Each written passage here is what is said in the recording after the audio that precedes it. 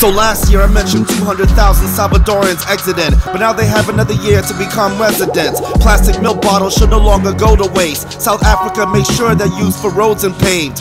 Hong Kong protesters are back on the streets against cops who use excessive force so they're attacking police. Live pigs are also used as crash test dummies. PETA needs James Cromwell to fight back them uglies. A doctor in Pakistan gave 900 children HIV from reusing the same syringe, cringe worthy. And a cooking stove exploded on a Pakistan train. 73 slain with dozens more injured and in pain. The Keystone Pipeline leaked 383,000 gallons of oil. We fought against this, it's killing us. RIP John Witherspoon, Friday Boomerang, Boondocks. But I'll always know him as Pops Williams.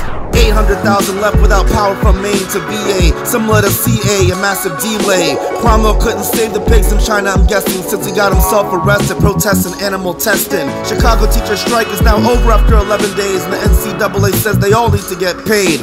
Nationals win their very first World Series against the Astros. Game 7, a series well played.